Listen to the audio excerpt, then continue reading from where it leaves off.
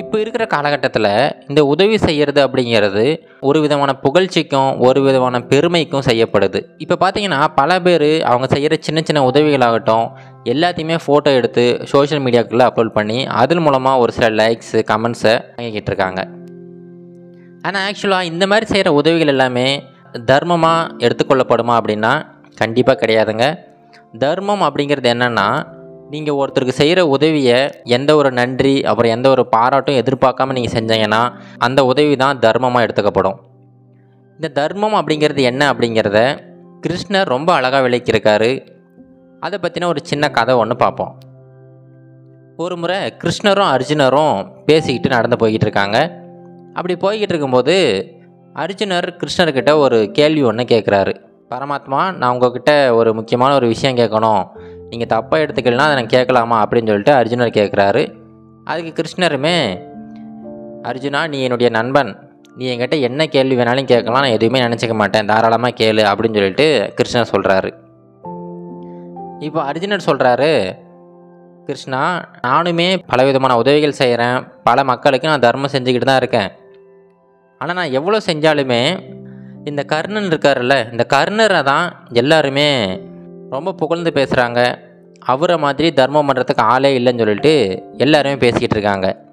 நான் என்ன பண்ணாலுமே என்ன யாரும் அந்த மாதிரி சொல்கிறது இல்லையே என்ன காரணம் அப்படின்னு சொல்லிட்டு அர்ஜுனர் கேட்குறாரு இப்போ ஒரு புன்சிரிப்போட கிருஷ்ணர் சொல்கிறாரு அது ஒன்றும் இல்லை அர்ஜுனா இந்த விஷயத்தை நான் வந்து சொல்லி உனக்கு புரிய வைக்க முடியாது.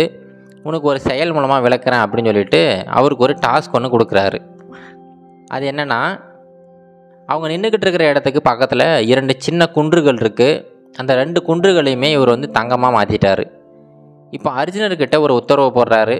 அர்ஜுனா இங்கே பாரு இங்கே ரெண்டு தங்க குன்றுகள் இருக்குது நீ என்னென்னா இங்கே பக்கத்தில் இருக்கிற கிராமங்கள் இருக்குல்ல அங்கே இருக்கிற மக்களுக்கு இந்த தங்கத்தை பிரித்து கொடு. சீக்கிரமாக பிரித்து கொடுத்துட்டு வா. நான் வந்து இந்த கேள்விக்கு நான் பதிலை உனக்கு சொல்கிறேன் அப்படின்னு சொல்லிட்டு அனுப்பி விடுறாரு. இப்போ உடனே அர்ஜுனருமே வேக வேகமாக கிளம்பிட்டார். அவர் சொன்ன அடுத்த வினாடியே அவர் வேலையை ஆரம்பிச்சிட்டாரு. பக்கத்தில் இருக்கிற எல்லா கிராமங்களுக்குமே ஒரு செய்தி அனுப்புகிறாரு எல்லாரும் வரிசையில் வந்து நில்லுங்க.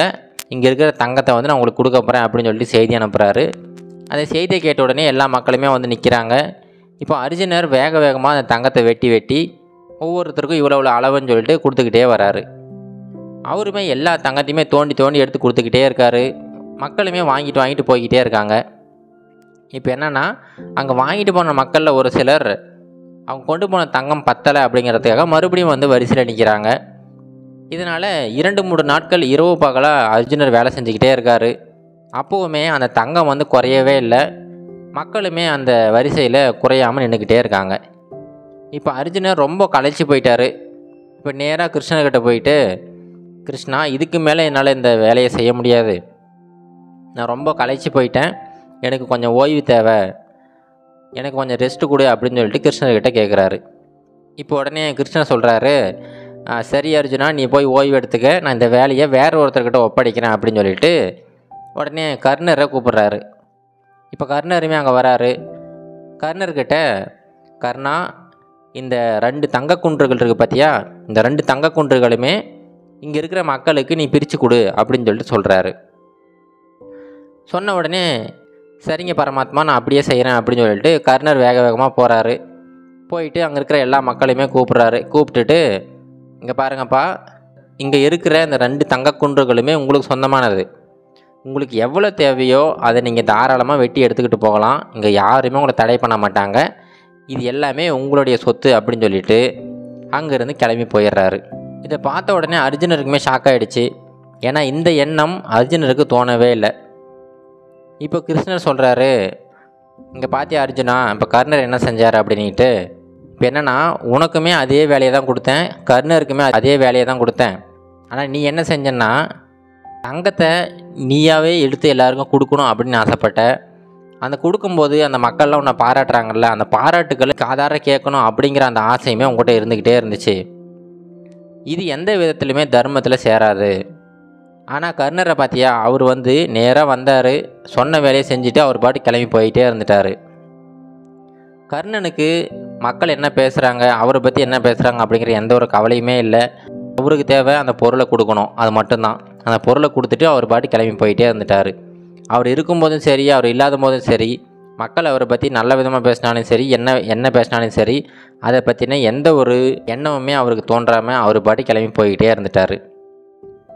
இதுக்கு பேர் தான் தர்மம் அப்படிங்கிறது அப்படின்னு சொல்லிட்டு அர்ஜுனர்கிட்ட கிருஷ்ணர் ரொம்ப தெளிவான விளக்கத்தை கொடுக்குறாரு. இப்போது இந்த கதையில் வந்தது போல தாங்க நம்மள ஒரு சிலர் பார்த்தீங்கன்னா தர்மம் அப்படிங்கிறது சரியாக புரிஞ்சிக்காம நிறைய பேருக்கு சாப்பாடு வாங்கி கொடுக்குறது நிறைய பேருக்கு வேறு சில உதவிகள் செய்கிறது அப்படிங்கிற எல்லா உதவிகளுமே செய்கிறாங்க ஆனால் செய்கிற உதவிகளை அவங்க ஃபோட்டோ எடுத்து வீடியோ எடுத்து சோஷியல் மீடியாக்களை அப்லோட் சோஷியல் மீடியாக்களில் அப்லோட் பண்ணி அதில் ஒரு போலியான ஒரு புகழ்ச்சியை அவங்க தேடிக்கிட்டு இருக்காங்க. உண்மையிலே நீங்கள் தர்மம் செய்யணும் அப்படின்னு ஆசைப்பட்டீங்கன்னா தாராளமாக நீங்கள் செய்யுங்க. அது எல்லாருக்கும் தெரிஞ்சு தான் செய்யணும் அவசியம் கிடையாதுங்க. யாருக்கும் தெரியாமலும் செய்யலாம் யாருக்கும் தெரிஞ்சும் செய்யலாம். ஆனால் உங்கள் மனசுக்குள்ளார எல்லாருக்கும் அது தெரியணும் எல்லோரும் என்னை பற்றி பேசணும் அப்படிங்கிற எண்ணம் மட்டும் இல்லாமல் பார்த்துங்க. அப்படி இல்லாமல் இருந்தாவே அது கண்டிப்பாக ஒரு மிகப்பெரிய தர்மமாக இருக்கும். அந்த உதவி சின்னதாக இருந்தாலும் சரி பெருசாக இருந்தாலும் சரி அதுவே ஒரு நல்ல தர்மமாக இருக்கும். இது கரேஜ் டு ஆக்ட் மோட்டிவேஷன் கதைகள்.